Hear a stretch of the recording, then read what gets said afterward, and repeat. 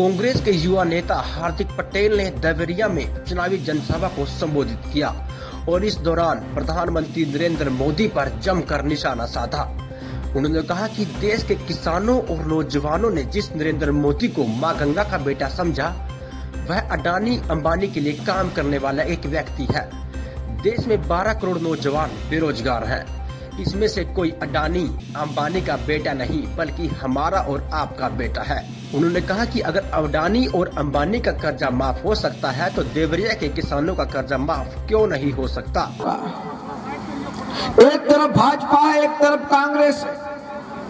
लेकिन पहली बार हिंदुस्तान में यह हुआ है कि यह चुनाव किसी भाजपा या कांग्रेस के बीच में नहीं है।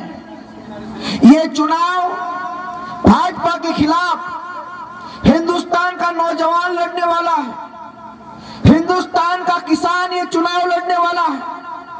और जो पिछड़ा दलित, गरीब, जिस पर अत्याचार भारतीय जनता पार्टी ने किया है, वो लोग 2019 का चुनाव भारतीय जनता पार्टी के सामने लड़ने वाला है।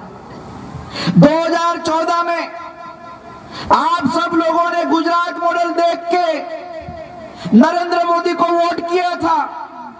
गुजरात मॉडल के अंदर आपने अहमदाबाद, सूरत और बड़ोदरा के सिवा कुछ नहीं देखा था।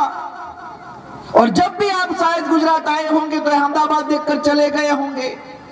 फिर भी गुजरात मॉडल देखकर नरेंद्र मोदी को देश का प्रधानमंत्री बना दिया और यहाँ से कलराज मिश्रा को आपने चुनाव जिता दिया था।